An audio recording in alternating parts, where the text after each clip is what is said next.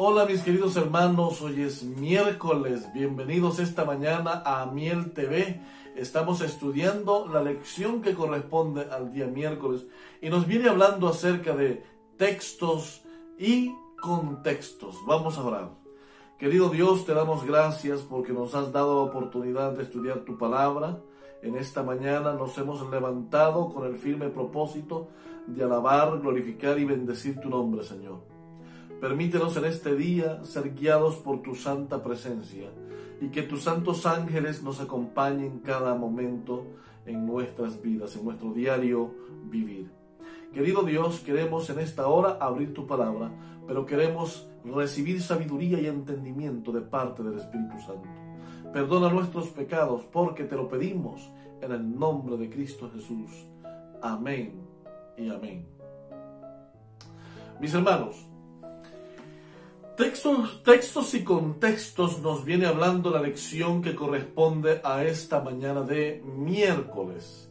Y algunos pasajes que encontramos para poder analizar están en Génesis 1.27, en Génesis 2.7 y de nuevo vamos entonces a Génesis 2.15 al 23.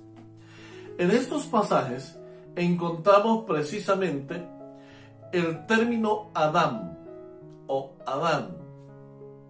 En hebreo se escribe Adán. Pero queremos aprender cómo usar el contexto. Necesitamos poder leer lo que está inmediatamente alrededor del texto que estamos leyendo. Por ejemplo, el capítulo 1 de Génesis y el versículo 27 nos dice, y creó Dios al hombre, a imagen suya los creó, varón y hembra los creó. Pero en el versículo anterior, en el versículo 26 dice, y dijo Dios, hagamos al hombre. Ahora bien, ¿cómo podemos entender este pasaje? La palabra Adán en realidad debe traducirse como humanidad. En otras palabras, lo que Dios dijo en Génesis 1.26, hagamos a la humanidad. El versículo 27 nos dice, que Dios creó a la humanidad, varón y hembra los creó. Es decir, que en este contexto debemos entender la palabra Adán como humanidad. Pero cuando vamos al capítulo 2 y el versículo 7, debemos entenderlo como que Dios estaba creando primeramente al hombre, porque todavía no había creado a la mujer. Así que en ese contexto, Adán, y allí dice que Dios tomó polvo de la tierra, que en este, en este caso es Adama. Y Adama significa tierra. Ya bueno, ustedes dirán, bueno, pero nos están enseñando muchas cosas raras. Bueno, en un grupo que estamos eh, estudiando ahora, estamos enseñando acerca de que Eretz er, es la palabra que corresponde al planeta Tierra. Sede es una palabra que corresponde a una porción más pequeña de tierra, más, más esencialmente refiriéndose al jardín del Edén. Y también tenemos Adama, que se refiere al polvo de la tierra, a hacer polvo de la tierra, mojarlo, como en el caso del capítulo 2, versículo 7 de Génesis. Es decir, que existen varias palabras para identificar la tierra y no como planeta. existen diferentes, como en inglés para hablar de Señor, usted puede decirlo de muchas maneras. Cuando usted habla del Señor, Dios, la palabra cambia, es Lord. Y cuando usted habla de un Señor, un vecino que es un Señor, usted le llama Mister. Y cuando usted está hablando de un señor que es su, es su, jefe o de rango militar, es Sir. Existen esas categorías.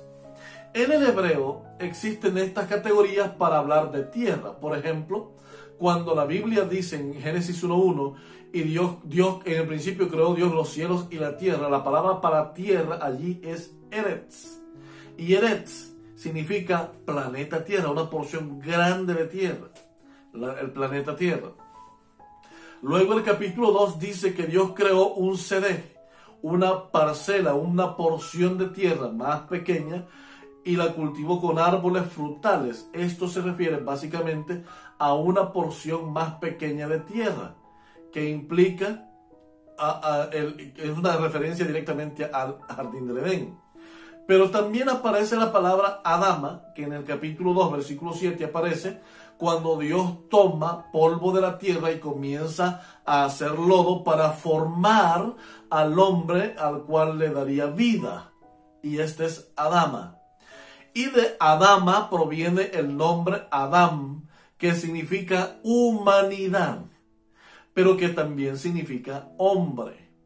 Es decir, al género de la humanidad o al género del hombre. Pero luego aparece la mujer que cuando la Biblia aparece, eh, habla de Adán en el Antiguo Testamento, casi siempre se está refiriendo al hombre y a la mujer, a no ser que el contexto inmediato esté explicando que no se trata de, una mujer, sino de un hombre en particular. Esto es lo que encontramos entonces en el capítulo número 1, 1, versículo 27, donde Dios habla del género humano, cuando habla de Adán, cuando Dios se dispone a crear al hombre. En el capítulo 2 y el versículo 7 encontramos a Adán, pero ahora lo encontramos con, con relación al hombre siendo creado. Y de nuevo en el capítulo 2, versículo 15 al 23, vemos entonces cómo Dios tiene que crear a la mujer del hombre y en este caso Adán sigue siendo interpretado como hombre. Pero en muchos lugares en el Antiguo Testamento Adán también representa humanidad. ¿Cómo entendemos entonces cuando Adán es usado para un hombre y cuando Adán es usado para el género humano? casi siempre está precedido de un artículo que sería Ha-Adam o el hombre. Y algunas veces, inclusive con ese artículo, se debe entender de que está refiriéndose a la humanidad.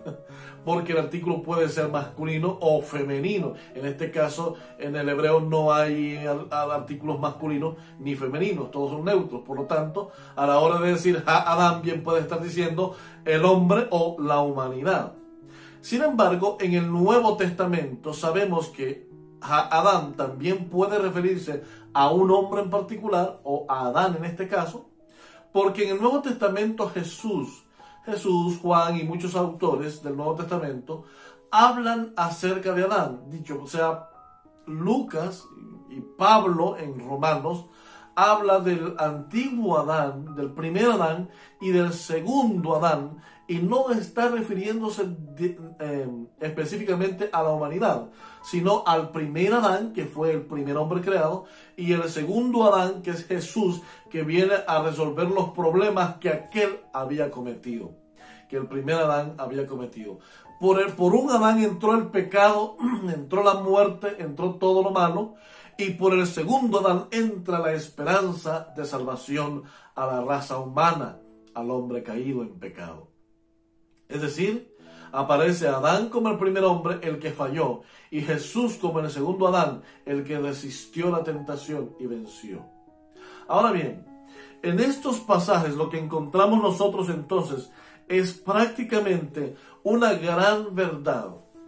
El primer Adán nos falló, según lo que nos dice Romanos capítulo 5 versículos 12 hasta el 19.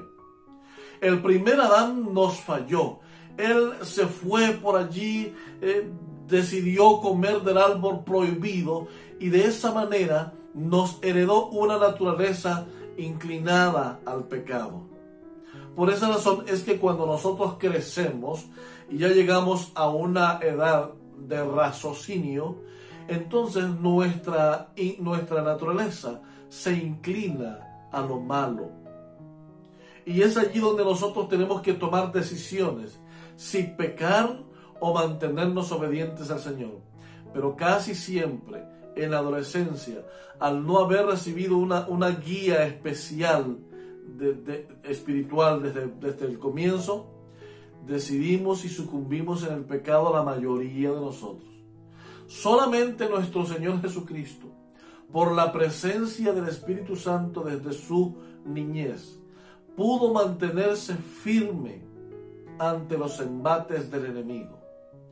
Nosotros hemos recibido del segundo Adán la oportunidad de ser fieles de nuevo, la oportunidad de mantenernos en el camino de la fidelidad y de la obediencia a Dios, porque Jesús es nuestro máximo ejemplo. Él lo logró en, en el desierto cuando fue tentado por Satanás.